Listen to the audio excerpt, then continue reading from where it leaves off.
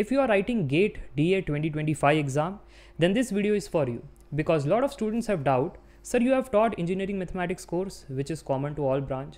So how will I know which chapters I have to study, which chapters I have to leave? Moreover, which topics I should leave as per my official syllabus. Do not worry, everything would be covered in the today's video. Just watch till the end. First of all, on Shrenik Jain Study Simplified app, I have covered engineering mathematics course in two languages. One is Hindi, other is English. What is the difference? The speaking style. In English, everything is taught in English, whereas in Hindi, मैं बातें हिंदी में करूँगा ठीक है content slide English में रहेगी and that's the only difference otherwise the content remains the same now talking about uh, how many chapters you have covered in total eight chapters i have covered as you can see here but you do not have to study all the chapters why because as per the IIT Roorkee GATE 2025 data science and artificial intelligence uh, syllabus what you have is only three chapters. Linear algebra calculus and probability. If i say in a short which topics i should leave? Zero topics you can leave okay? Everything of the folder you have to study. Oops i guess there is some error here okay? We are back now you can see linear algebra, calculus, probability, this three folder, every lecture you have to watch, no lecture can be skipped. That is the first point. Now talking about some more point. This part counting which is permutation and combination, this you will get in aptitude. In aptitude course I have covered it. You won't get in the engineering mathematics course. That is the first point.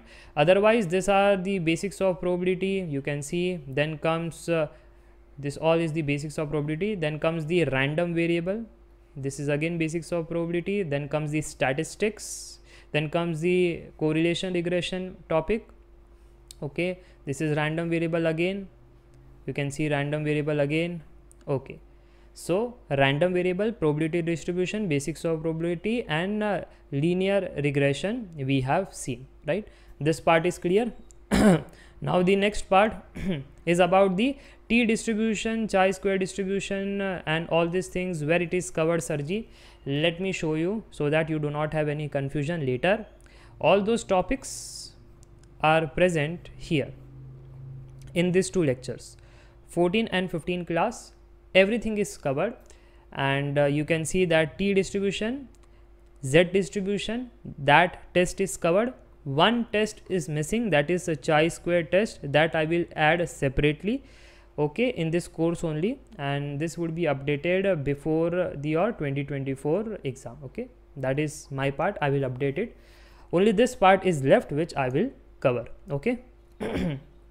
Otherwise the whole thing is present in calculus, everything you have to study limits, continuity, differentiability, Taylor series, maximum, minima, integration, everything because integration indirectly used here. Okay, single, double, everything is used here. Talking about linear algebra, everything you have to study, you have no option. Please make a note. There is one more thing uh, which I want to clear that is vector space and subspace. Uh, this thing you won't get in the linear algebra. This you will get where? This you will get in the vector calculus folder okay? So go to the vector calculus folder go to the lectures and see here vector span and gate pyqs okay? So if you watch that you will get your vector sp uh, space and vector span questions which will be helpful to solve this kind of questions. Thank you for watching this video. I hope you understood your syllabus